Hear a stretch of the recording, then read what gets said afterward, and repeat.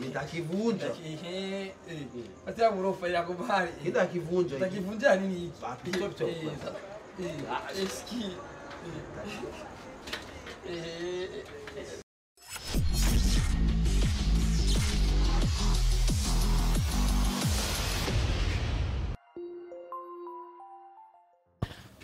yes bakunzi ba hitop tv mumeze gute. Ntitwigera tunanirwa kiretse twigira ikindi kumwe na simbizi wa semavumba behind the camera turi kumwe na if bali Imbecile embesilato cameraman. embesile Imbecile. cameraman ndetse cyo kimwe na landri promoter ko nanjye ndi behind. Mutananirwa asemze safi safi. Umeze fresh. Je ndi nyina. Cyane ndi gose nyina. Eh, nibaze neza ko ndinze nzana Idris Mbizi mba mfise byinshi byo kuvugana nawe. Kandi no munsi rero tuza kuvugana ibintu byinshi eh, bigize umuziki w'u Burundi ndetse turabire hamwe. Eh, tuje hirya nino nk'umusesanguzi. Uwinjira mu mizi imana ihezagira abasesanguzi bose ibaye kuramba. Ibakwepesha abansi Ni gufungwa n'ibindi ni byinshi. buda umeze neza rero? Je ndi nyina. Ako no kurangwa n'agaki eh aka ni ni akaju kadakorerwa aha. Eh. Jewe ubu uyi ubwa mbere narahemukiwe narahemukiwe twarakoze imiziki turakunda ibinyobwa bikorwa n'abarundi. Wamusemerera ati kunda murundi mugenzi wawe. Nuko ubutumwa iby'abanyamahanga ibi, byakozwe na azamu ndakivuze. Mu nyuma tuzoduza ibyaha kazima imipaka yuguruye skoro zaje tuzozivumisha brarudi ikora ngaha igumiza n'abanyamahanga ihombe. Ni jewe na timu satura. Twaravuganye. Hari ibihungu byatorotse muri timu satura. Kuva mu muziki ubu tunywa ibi. Iki ni cya azamu azamu iriko cya azamu mm. iyi ni intango. Muzonshigikire gusa. Kabisa. Idris sema sibre ni sibre de- de- yeah. Simple, mbonera kure nyayo. Mvuze ndi- ho ndio good news ngiyo ku TV ni redio. radio back mu game Ndio. ndaje simba sibre ni sibre nta gitaki Sibre ni sibre na gitaki bure. Umva simple nabonye ndagema sindaba ngo urumva ngo ni Berudingo yatanga amakori mm -mm. ndi kumwe na team Satura n'amabajaji barayakubise hoshi Fu- fungusi zayatanga aya matangawizi. Atangi ikori Mm. papa hivi tuko na papa yetu. Tumwita papa. Eh. umujama wacu namjua papa? Namujua sana mzee wetu. Dawe. Dawe tumutokeye twebwe muvyeyi twe tumaze imyaka irenga mirongo ibiri dukora imiziki. Mugabo. Twebwe turakora imiziki tugasimbataza amahoro n'umutekano. Hageze ko turonka ubugari bacahamagara ibi Nigeria bigaca bizanga bakabija imiliyoni ijana na mirongo itanu. Papa atatusikia Mm. mbwiza ukuri mbwiza ukuri uvugisha ukuri Mm. wewe nta ruhare ufise mu mutekano w'igihugu. Cyane eh? Urabwa uraruzi urazi ingene ukundisha uburundi abarundi? Ego aba mu gihugu n'ababa hanze ego eske ubona yuko hageze yuko uronka ubugari? Baca bahamagara umuntu utazi ngo nazi ngo ajye amafaranga yo bari kurya. Oya. None garandri Mhm. ko nzi nawe we wahoze muri timu satura.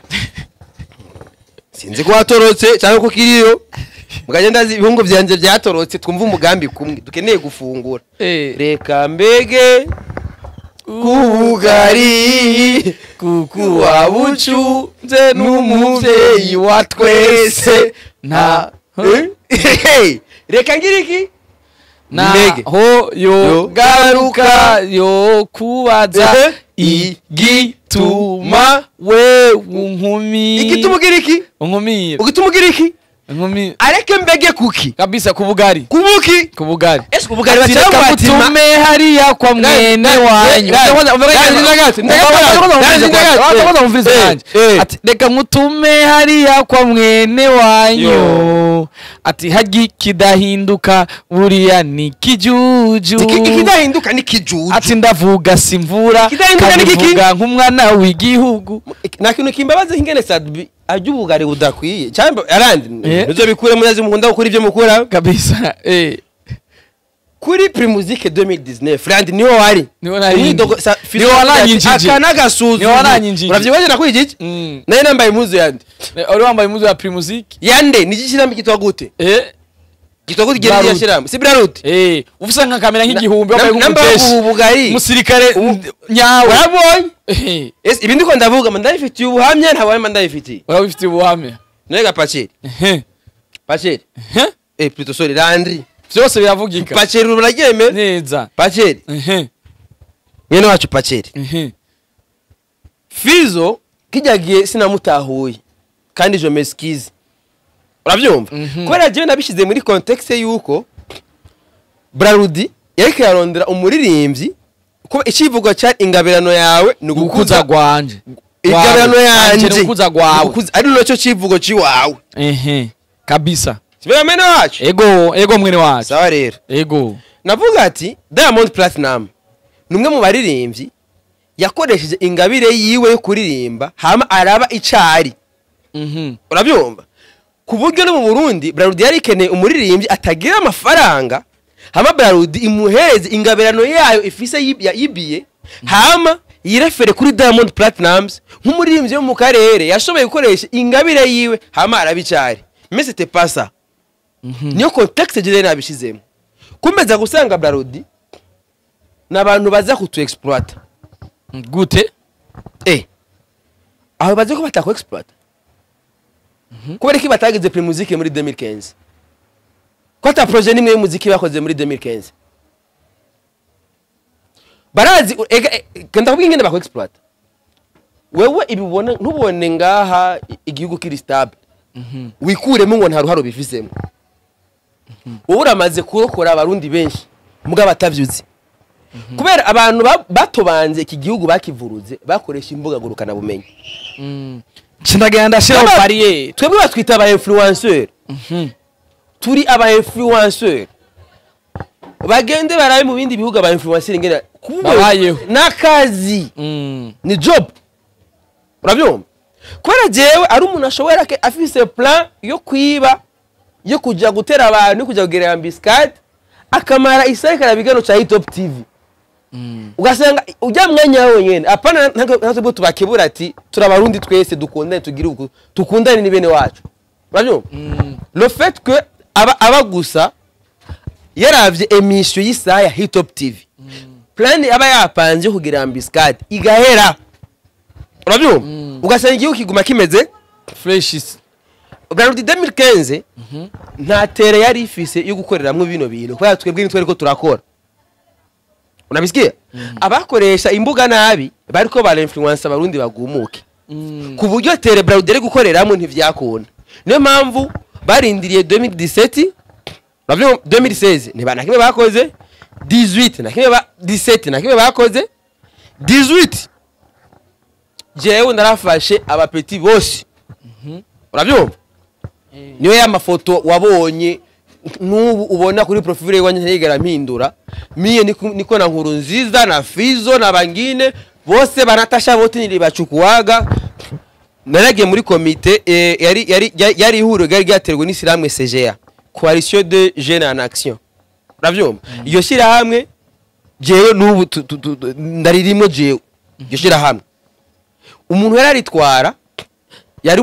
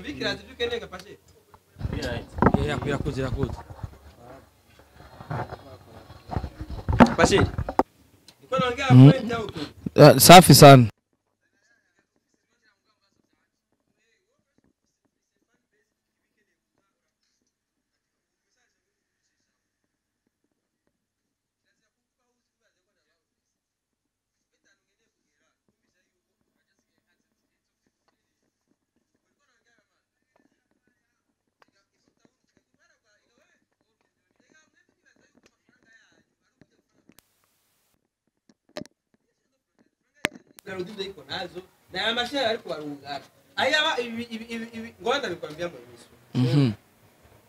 tayari Eh. sawa Mm. uravuga mbene wacu jewe nce ndafata iya mbere mpamagara abaririmbyi bose ati nyene icubahiro umukuru ati ni twebwe urabyumva si umukuru w'igihugu yaturondeye niryo shyirahamwe ryatumiye umukuru w'igihugu aze kwigisha sibyo hama jewe nca nishimikiza ishyirahamwe nca ntumira bajya abaririmbyi bazi kumva ni, ni coalition des jeunes en action.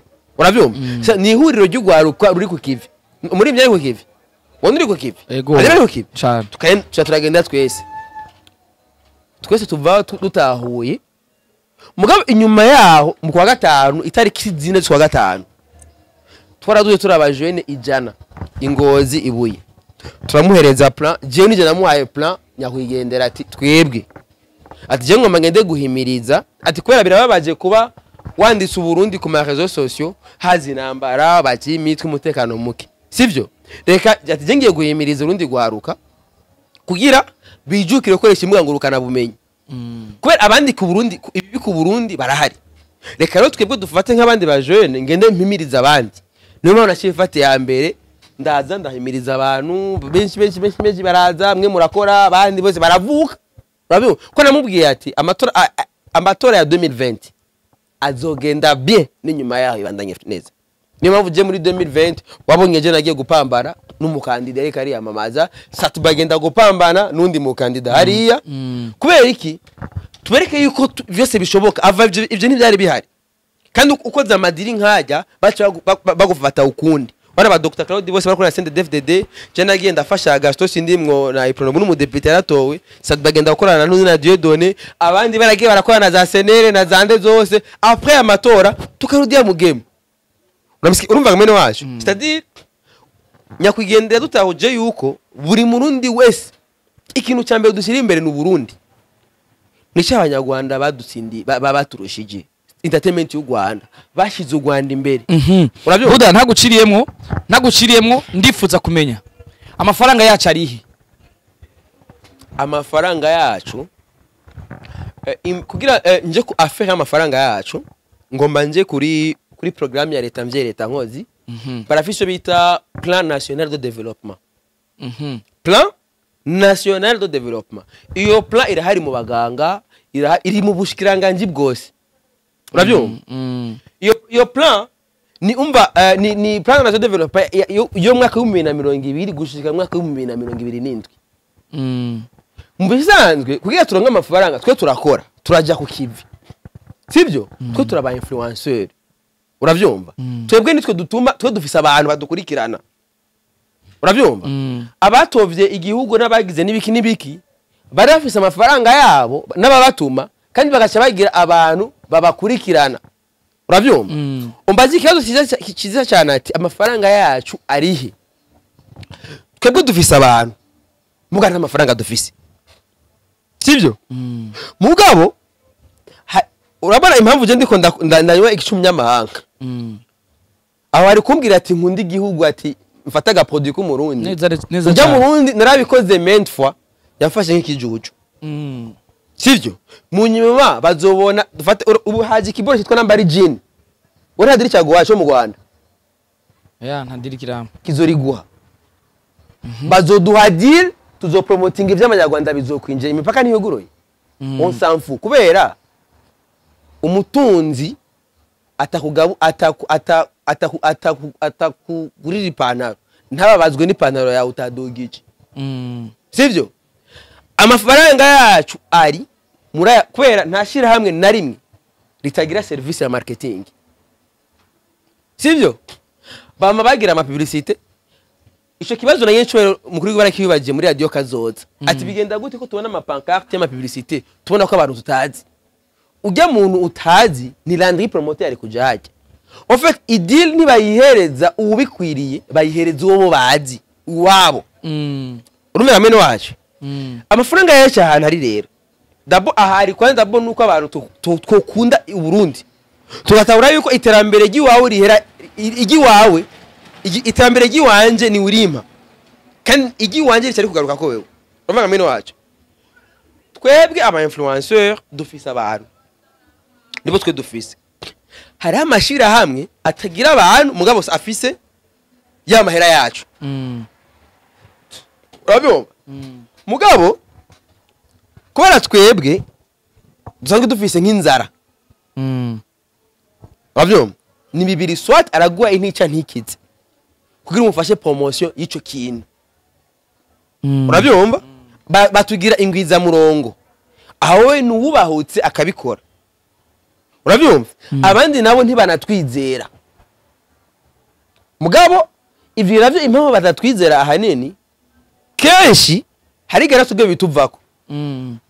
usanga structure dufise kubera ishirahamwe nishobora kuguhereza uh, idil udafite structure juridique iba ari kure kuguhereza idil usanga nk'abarimvyi benshi nk'abainfluenceur benshi ata nifu bafise ata registre de commerce bafise uravyumva. Mm. ugasanga kenshi abantu boduhereza ubuzi uravyumva bo? Aho ni kote imwe. Mm. sivyo? Muga dufate nk'abaririmbyi bose bavuga bati twese. Hakaba nk'isekeza cyangwa hakaba nka label imwe lebo ivuga ati reka nishinga abaririmbyi bose. Mm. urabyumva hama bikagenda neza. Mugabo n'ikintu kibabaje ncangwa nkagaruka bantu boy irafise everything. Bari bafise abaririmbyi bari hiti double j yari ahari kiriku yari ahari big fizo yari ahari sivyo? Mugabo nta publicite niyi nigeze ndababonamo. Uravuga mene wacu Mhm. kandi sindibaza yuko edite burya n'umugore azi kwiruka. Azi gutigita agenda kurondera amasoko. Mm. urabyumva? Kugira utahure yuko ibintu byacu hari ahantu biri futi tudashobora gutahura. Isigura ingene lebo nka bantu boy yarinze ba- ba- ba daboje barinze bavamwo ata kontra nimwe tubonye nzima. Bavuga bati nasinye kontra n'ishyirahamwe runaka. Urabyumva? Hagari n'amafaranga yacu ari amafaranga eh, twa- twamaze kwishyiramo yuko amafaranga ari mu ma streaming amafaranga ari mu ma mu ma mu ma youtube niko batu, niko batubesha. Mais c'est pas là that is also bona saltb yamapambana afuma afuma yitera kikinywa yagi- yasinye kontra miliyoni amajana bigende kugira arabe yuko hari hari basi iyindi shirahamwe yomuha amafaranga ya vrai kwenerewa Landry? Mm. namba satibi haravuga uti asi nawe yogenda agabana na polinari akamugonga umuriyoni. Cyangwa ati jewe polinari kumezi miliyoni ijana. Urabyumva urashobora gusanga anazimpatia tuju nda- ndagukunda ibi- uku nuku nuku nuku sivyo? Hari ababosi benshi nzi ba raja sinzi ko munzi lionel raja. Ni umuntu ashobora gukoreza miliyoni icumi gutya. Mugani wacu ugenda uvuga ati ngo savonore imeje kumereza bo nka satibi tufata we nka raja akamubwira ati "Ah, chani kupiga hata milioni ngapi? Shaka ati bana meje gusina savonore nakura hapo. Urabyumva miliyoni kontra miliyoni ijana ibyo abigira ariko aratagetinga irindi shyirahamwe urabyumva rica rivuga ati jewe umvaga ati "Na- nasinye kontra runaka me hapa burundi. Baya mbaya. Kabisa. Eh, Idris Mbizi uri ngaho tugushobora kuyaga byinshi bijyanye n'umuziki w'u Burundi ndibaza neza yuko uri mu bantu dukunze kuyaga kenshi ndetse tukagira byinshi dushitseko bivanye n'iterambere rya hano iwacu muri industry ya kabiri gata n'indwi. Uri mu brother wanje nakuze mbona nakuze numva ndetse mu kazi mukora ndetse eh, bijyanye n'iterambere ry'umuziki. Ndibuka ko twize gukorana ikiganiro usanga muri studio merewe nabi cyane. Nabi gose. Wambaye ishati. Iterambere buhoro buhoro ryagiye riraza gashati ye ye ye ye ye Gasha turayibuka ye ye ye ye ba. Dan paka boro. Sha gasha turayibuka Ewe, ndibaza kare ya n'umutwe urayibuka neza. yera iriko ibintu by'amavuta. Eh, urayibuka Ibeti. wasanze muri studio. Mbi gose ishati ya igashati yari yande gapacheto yari iwanje gusa ni ni bwo buryo nari mfise kirya gihe ya shati. Ndibuka umvumbura fresh kuri phone ni ndavyibuka shati nini Ni- gose uravyibuka neza. Iterambere bo ryagiye riraza bivaye no gukora cyane. Inguvu no kwitahura. Inguvu gose. Inguvu twagiye turakoresha. Ca inguvu nakoresheje. Mm. kuri wewe. Urabona neza ko ah, ivyo tugeze kuno munsi karivyo twa twa- arivyo twoba tumaze twa- arivyo twoba bikwere ko kariko karivyo twoshikako Randi. canke hari ivyo vyinshi tukibuze. Randi. mbega. Nimba atari kindi kubera ko iterambere riboneka ku muntu. Landry wewe je ndazi aho wavuye ndaho ugeze je ndahazi sivyo yego. Kandi ubandanye. Yego. Ikintu kimwe ndaguhanura. Yego.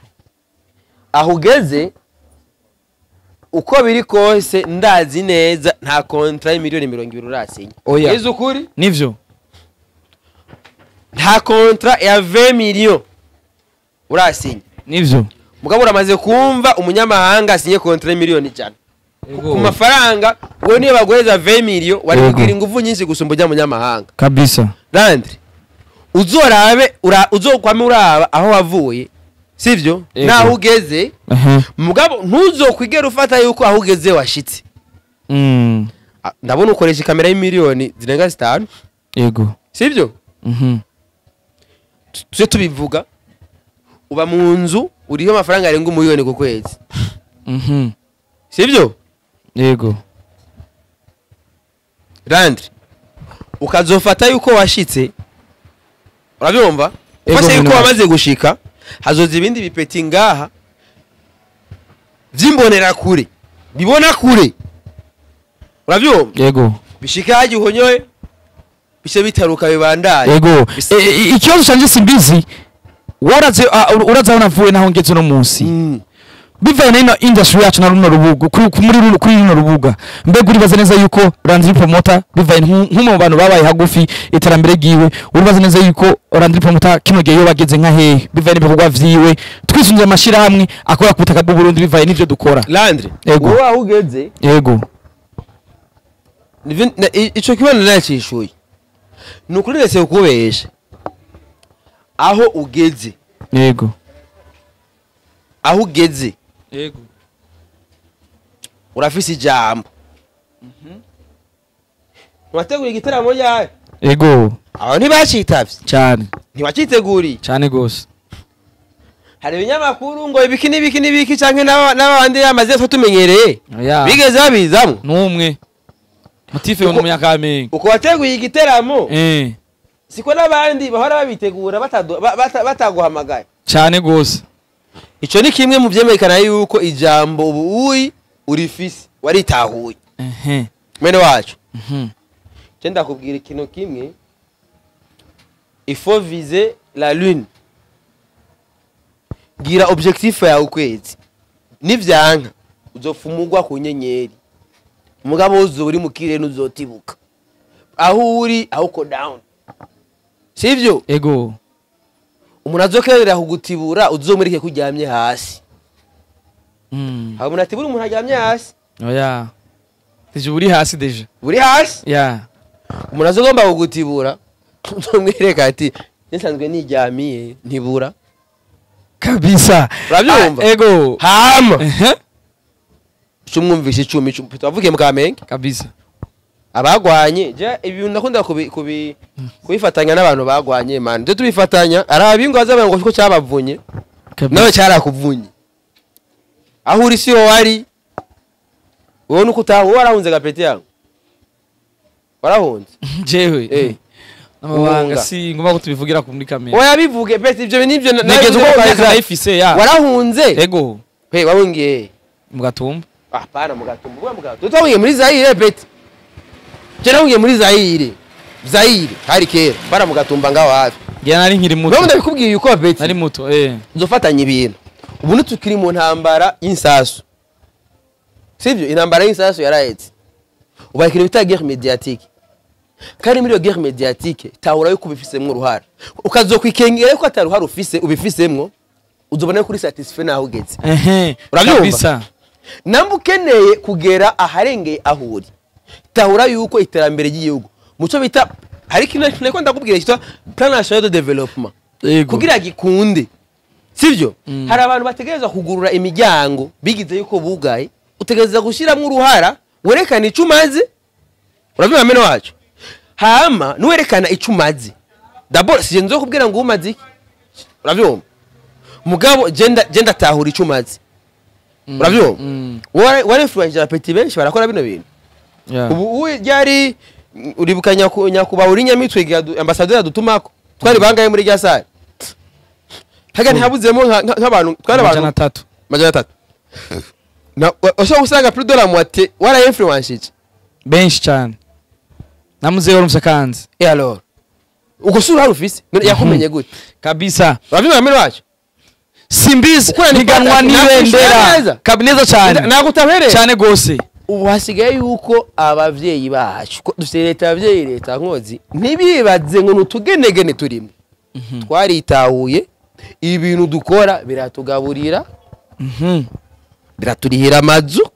Neza cyane Ni na- ni ni na cyo kintu kidutunze. Mugabo biturihira amazu ku mafaranga dukura kuri youtube. Niyo mpamvu dushyirako ibi- ibikuru bitagira umutwe n'amaguru. Niyo mpamvu turemvye. Turembye kubera twa tundi dukeya turonse usanga twe dutuye nta marundi turiko turaronka frambo. Nta migambi irenze dushobora gukora. Nta migambi irenze kamera ngo dukore kamera zibiri ama- amadabo- ama- ama- amadeziyeme kamera turi abana bo mu kamenge. Tura- tu- tugisubiremwo batwumve.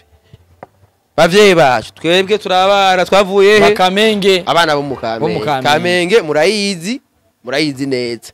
Nta buryo dufise. Amakamera twarayaguze nta deni tugenda gusaba ngo dukeneye ngo tugure kamera. Ego leta yadushiriyeho imigambi. Hariho ya- hariho na bije. Mm. yaba y'ugwaruka. Igwaruka banki igwaruka ntiwogenda gusaba ideni kamera warayiguze ndagomba credit akomba akomba nani? Oya. mugabo ntituguma dukora twiteze amafaranga ava hanze ya youtube niki ni hamwe usanga dukoze inkuru zagonyanga imico usanga baradufunze. Yego. mugabo turakeneye support. Urabyumva namba dufise influence turakeneye ko amashyirahamwe mu burundi.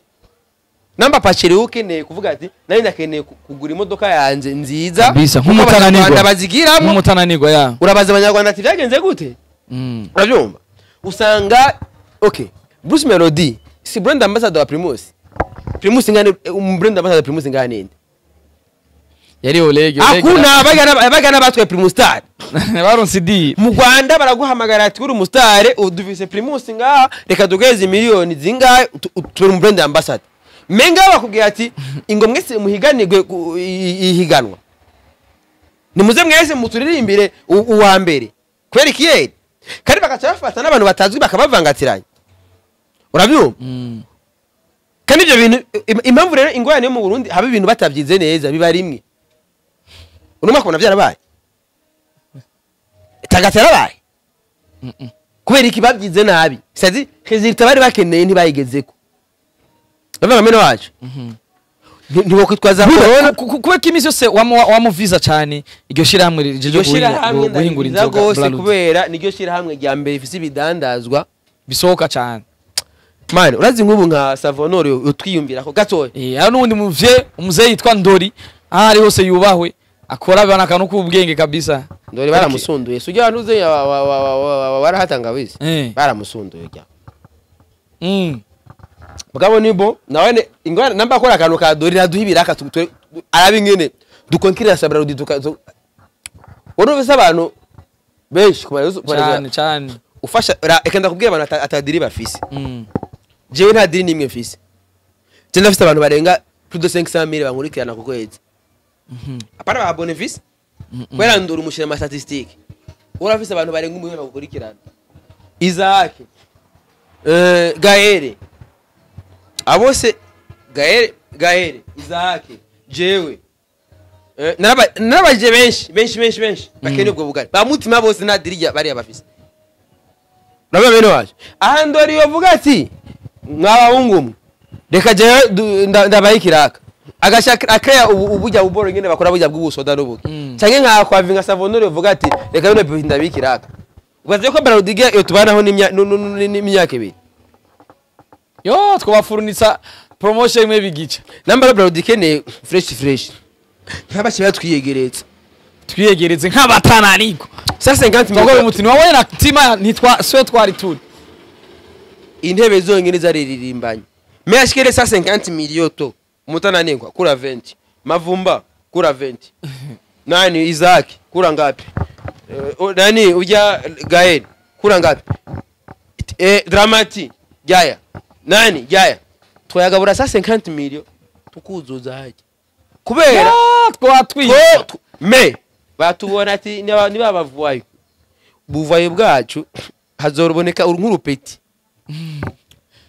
Hazo- hazoboneka urupeti rumwe ariko nka kiboko rwagiye muri karate ufate nka guha ikibo ko nka guha ikibo ngo saba nk'umukredi hariya canada nk'umugore nk'uruzungu rufise nk'umu- nk'umuri- nk'umuri- nk'umuri- nk'umuriyoni w'amadolari waje ngomba kuinvestisa akacaza bikonkiransa bike Mm.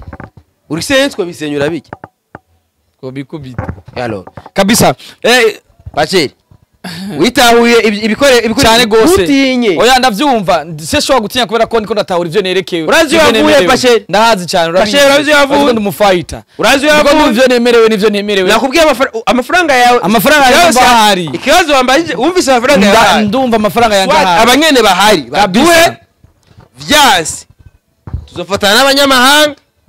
Bazi bashinga amashirahamwe ngaha hama twebwe tubafashe. Kabisa. Ko n'ubundi big- bigende Ego, vy'abanyamahanga asaba Idris oranje. Mbizi ibita- ibi- ibi- ibi- ibibazo nateguye si vyinshi cyane Eh. ariko nibaza neza ko bizogera vyinshi bihinduye. Yego. Hari ikibazo umaze iminsi nihweza mu muziki w'u Burundi Mm. twe ntituri ngaho tuje gutanga inyishu ahubwo tugira turi ngaho kugira tuje ku- kuvuga ingene tuvyiyumvamo. Ingene- ingene ingene two twibitahura. Point of view wawe canke n'iyiwanje niyo mpamvu turi ngaha.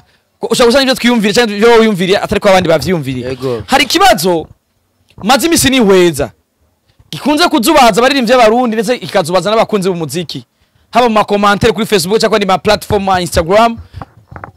Nawe nk'ivyo urakunda kukivuga cyane. Ngo abantu muzana abantu muzana bo hanze ngo ntimukabazana ariko ngerageje kwihweza hari ikintu cyaba kizubaza abaririmbyi b'abarundi ico naco si ikindi kivuga ati mwebwe murakaze kurutaba. Mubwe murakaze kurutaba ariko bagene baza batubwira ati mwe murakaze murarenze. Ariko bo bakadusuguma amahiti bo bakadukoma amahiti ariko ba- ba- bahaye media bakakubwira ati twese turazi yuko abarundi muzi muzi muzi muziki. Muranaturuda twe turabaruta. Mura- mura- muraturenze. Turazi ko muturenze. Ariko bakadusuguma amahiti bakaza no ngambere bakadufuka. Ico kintu kiva kuki? Ico kiva yuko abarundi ata bumwe tuvise.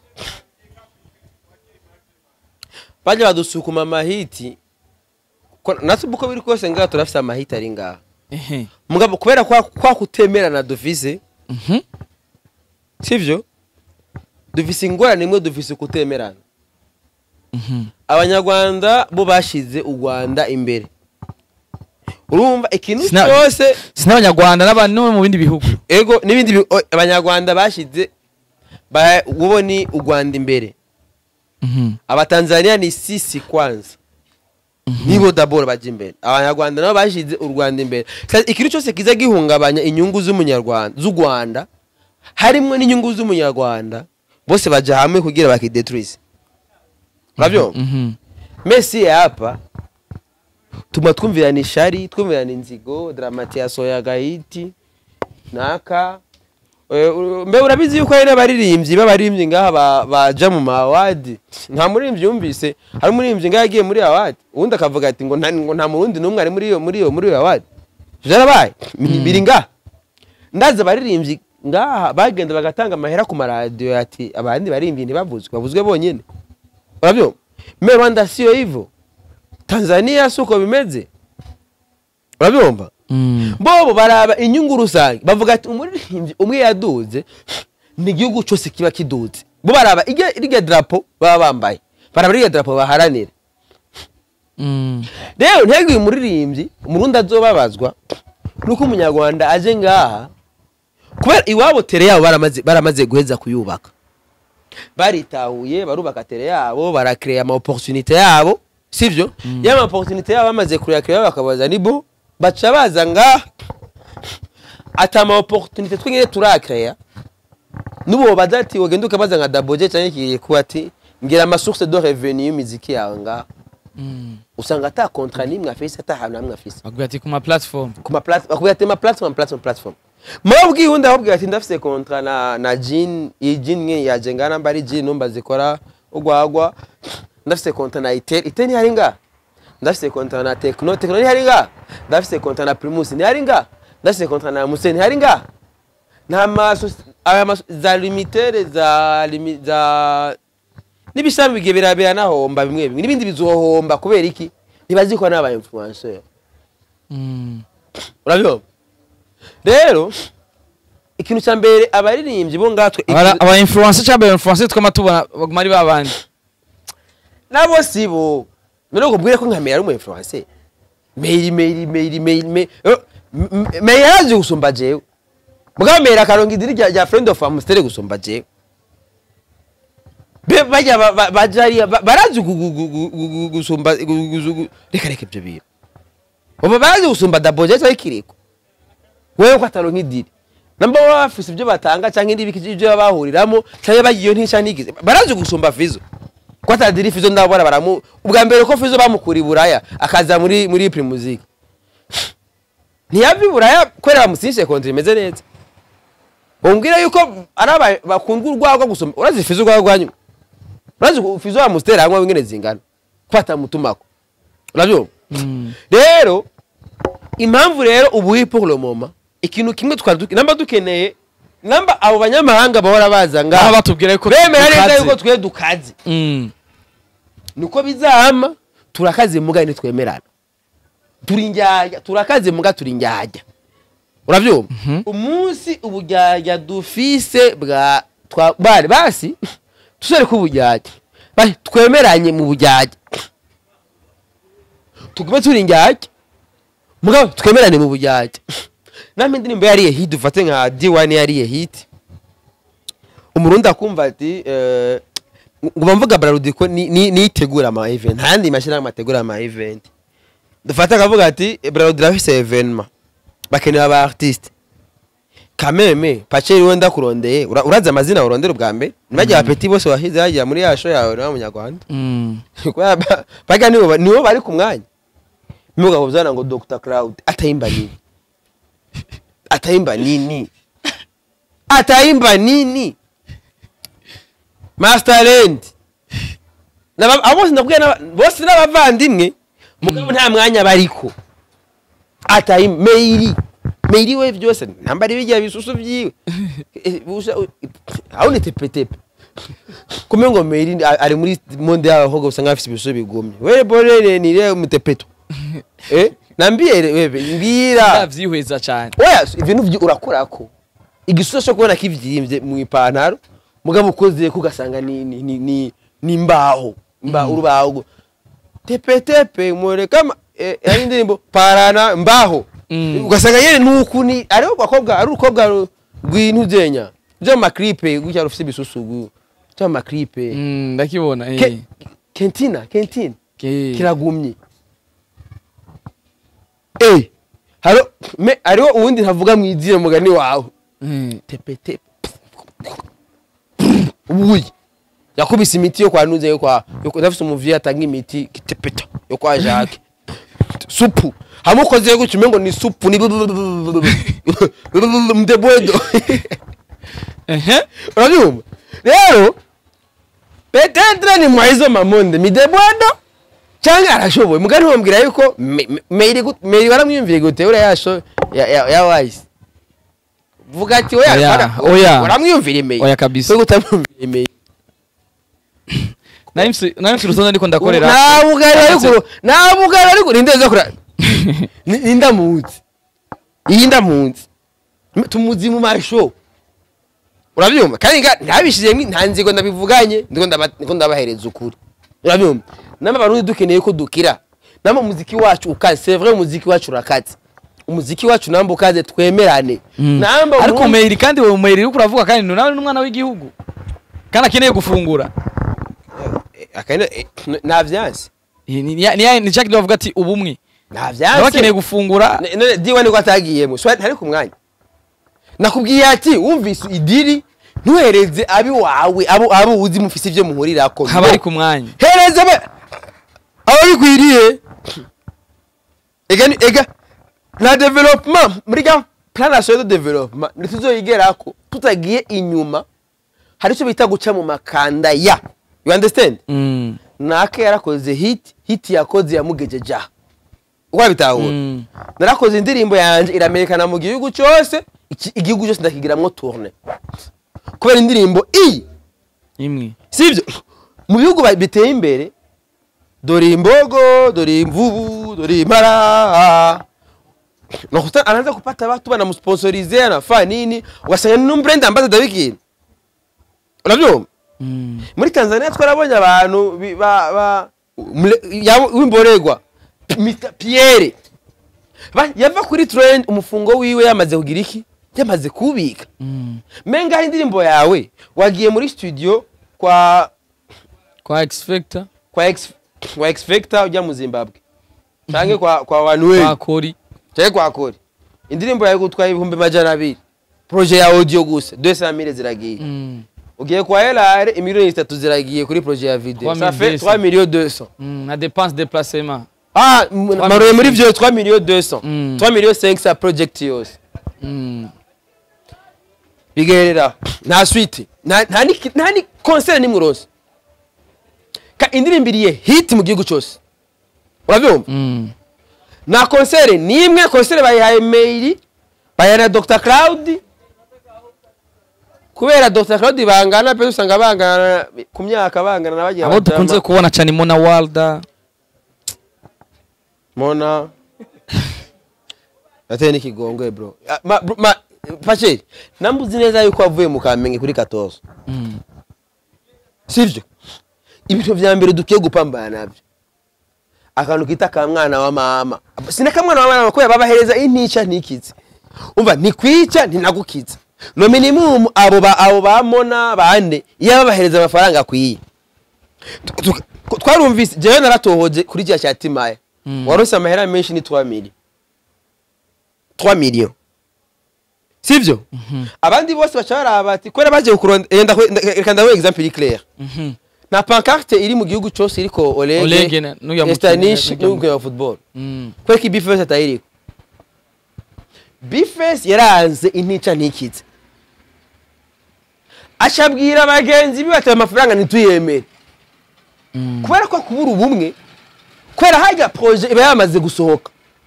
Kandi abahorande bama- bamaze kwaprova proje itegerezwa gukorwa by'ufaranga yishatoka Mm. mais jupe ko abakomisiyoneri dufate nk'ubu.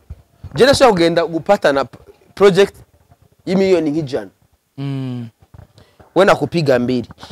Kora uba umaze nk'indwi yose utajya cyangwa uharura amafaranga y'inzu ni umushi kuyatora Mm. kubera inzara yawe ntibiri mu nda ufise inzara iri mu mutwe. Mm. sibyo mugabo hariya muri project wewe namaze gusinyara ati ndakuja kwako. Nzoza ati landri ndamuzi ebana landri ndamuzi vrema namurera 2 million ndazazoyajya urabyumva Mm. niyo mpamvu abaririmbyi bose barakwiye kurondera amanifu n'amarise do commerce ku buryo kontra bazisinyira directement.